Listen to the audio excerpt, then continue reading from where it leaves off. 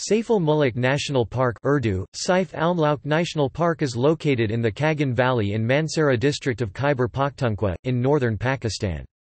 The park was created in 2003, and is centered upon the alpine Saif ul Muluk Lake.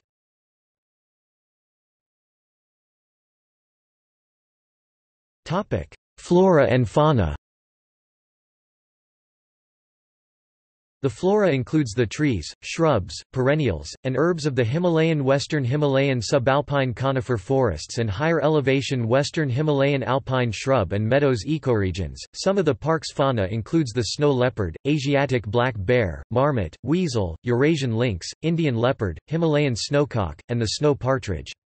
The park's lakes and wetlands habitats are of significant ecological importance for resident fauna and migratory waterfowl.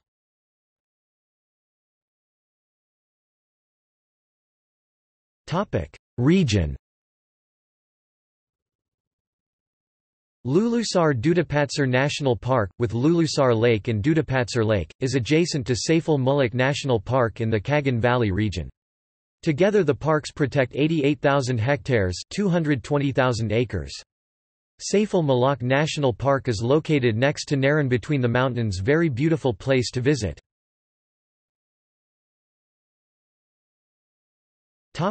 See also.